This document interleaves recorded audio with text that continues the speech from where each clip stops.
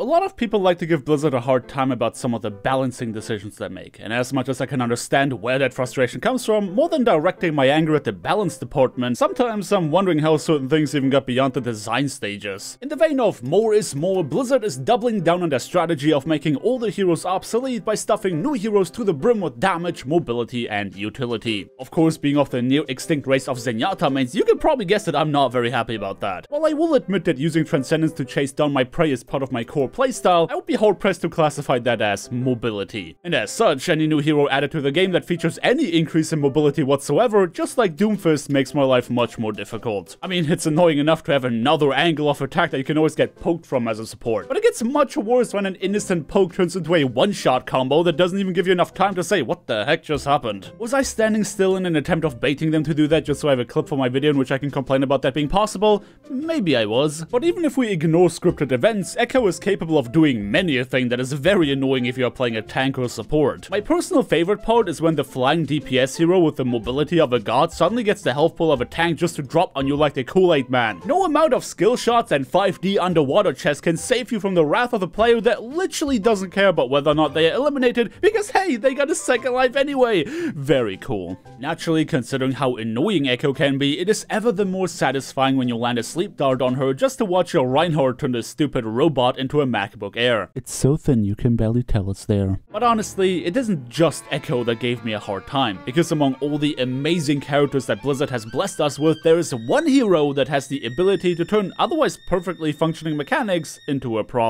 And that hero is Mercy. Mercy can take characters you wouldn't think are much of an issue, much less OP, and thanks to the power of holding M2, suddenly turn them into an issue. No character should hold the power to one-tap squishies on cooldown, and while heroes like Doomfist and Widowmaker strongly disagree with that notion, Mercy too seems to have a bit of an itch for chaos. Don't get me wrong, sometimes Mercy players are a true blessing. When no one else on my team has any interest in stopping a Doomfist from spawn camping me, it is usually Mercy that comes back to assist me in my desire to play the video game. You think anyone else cares about me sleep darting the Tracer that is poking in our backline? No, of course not. But support players have to stick together and as such, I appreciate the Wind Goddess for blessing me with at least one competent teammate. And it is that very reason that makes me lament the fact that she is the one that allows Echo to go from a general nuisance to a bona fide problem. Leading up to our story match, my number one reason for losing matches has indeed been the Mecho combo that is occupying the airspace to rain destruction and Roadhogs from the sky. But no more! This match will be different. I refuse to let this flying trash can dumpster me any longer. I will forsake my beloved low mobility heroes for the sake of victory and by Jeff, I will no longer make for a free elimination. Our story today takes place on Lijiang Tower. Now granted, we haven't gotten a new hero in Overwatch for quite some time, which is something I personally consider more of a blessing than a curse, but needless to say that modern problems require modern solutions. And while this may have been day 2 of Echo's release, of course my Giga Brain had already formulated a suitable strategy to deal with the latest addition to the roster. The game started off with a bit of a petty squabble between the enemy Lucio and me, but I know that y'all aren't here to watch me beef it up with another Lucio, you're here to see some Echo gameplay. But Trinity disagreed. It doesn't take a Grandmaster to tell that losing a player so early usually makes for a bad omen. Willfully unimpressed by our point presence, the enemy team decide to march on forward and elaborate on their advantage. But Alex and I were on the same page, realizing quickly that we couldn't let Trinity do as they please. I decided to rotate around the objective to make a run for the opposing sniper, wombo comboing here with the help of my Hammond, but sadly, our attempted assassination was foiled by the perfect utilization of the mouse one button sights of the enemy Mercy. Whatever am I to do in the face of such overwhelming game sense? Well, in the words of my personal deity, we go again. Our second run for the backline succeeded in taking Trinity out, but it came at the cost of the objective as well as most of our teammates. And while the enemy Echo clearly saw me sneaking around the backline, they made no effort to stop me from backcapping. In fact, they completely forgot about me and was it not for the tanks moving in to stop me, I would have actually succeeded in seizing control of the objective. I reckon my Hammond nudging the front line to look backwards might have also been a crucial factor in the decision making. But let's ignore Echo's lapse in judgment due to what I can only assume was a memory leak and witness me playing Ring Around the Rosie with the entirety of the enemy team, allowing my own comrades to freely regroup and make their way towards the front line. At first it seemed like we might be able to come back strong from our initial loss as I serve a free elimination in form of an Ana to my Winston, but as was expected, the enemy team did not take too kindly to us diving their main healer. Our resident scientist found himself in a bit of a pickle as the opposing Echo went for a big brain play of camping the mega health pack and ultimately our hope for success would crumble much like Winston's hope of getting healed. Between Echo zipping away at the speed of sound, that is a very cool ability by the way, I love how she can just like radically change her trajectory to make herself borderline impossible to hit. That That's just beautiful game design right there. I'm sure a character with a slim hitbox was in dire need of such an ability. Great job, Blizzard. And Mercy being as easy to grab a hold of as wet soap, I started getting really annoyed with my inability of confirming an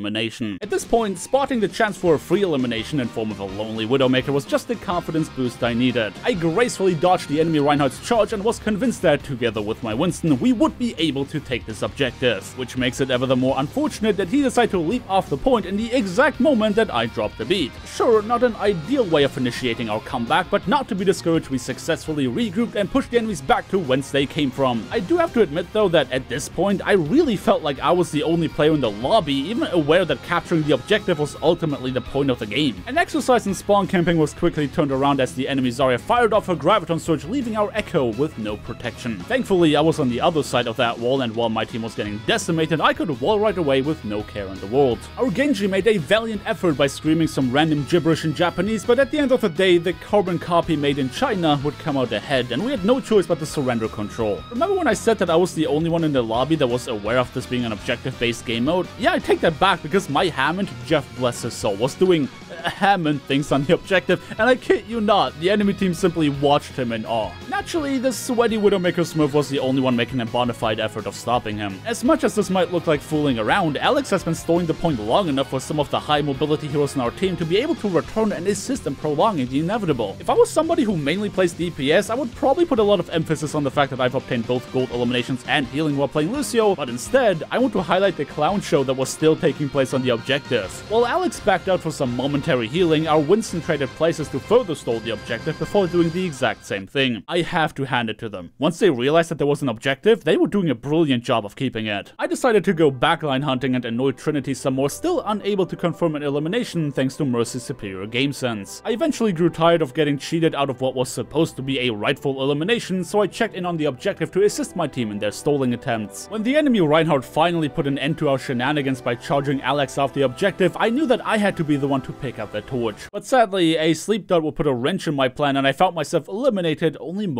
later. Though still drastically low on HP, Alex made use of my sacrifice to continue stalling even at the cost of his ultimate. Of course, he would eventually fall prey to the enemies as well, but considering our edge in mobility, we could get back to the point in no time at all. And this Lucio had one thing in mind. Revenge. Despite our best efforts, Winston and I did not manage to attack the point again to continue the clown show, but now that we're here anyway, we engaged in a brawl with the enemy team to weaken them for our team's arrival, including styling on their Reinhardt that tried to shatter us. I hightailed it straight into their backline to finally bring justice upon Trinity who cheated death way too often already. The fight began to look really scrappy as overtime was about to hit and the only thing keeping our team in the game was my beat drop. Reinvigorated by a second chance to make up for our mistakes, our team took it to the objective to fight to their last breath, but unfortunately, we were unable to overcome our lack in numbers. So far, we have been staying alive not by getting more eliminations, but by outsmarting the enemies via use of mobility and stalling. And this overtime would be no different. As the last man alive, it was my duty to extend the fight long enough for my Genji to arrive and turn the tide with a massive nano blade. He denied the resurrection by dashing into Mercy, followed by swift elimination on their Ana. Seeing their numbers dwindle, the enemy Roadhog that tried so hard to get me off the point desperately used his ultimate just to eventually fall to the frog he previously tried to cook. The point was ours and there was no force powerful enough to make us surrender it. We invested too much to give up now, pushing forward and keeping the enemy team away so that even if we can't eliminate them, we sure as heck can stop them from contesting it. One faithful boop on their Winston was enough to close out the round with us being the ones that last stood on the point. And with that, we put ourselves in a very good position. While my gold medals were painting a very clear picture of us losing significantly in the eliminations department, through wits and smart use of our resources we managed to overcome and ultimately prevail. With that said, our Echo player got a wee bit jealous over the fact that the opposing Echo had the privilege of a pocket healer asking if they could also be granted such treatment. But I assured them that learning to play Echo the hard way would ultimately provide the flames necessary to forge them into a formidable player. Thankfully, they believed that nonsense. It is time for round 2, so let's find out if my team can cheese its way into another victory or if the enemy team comes back swinging.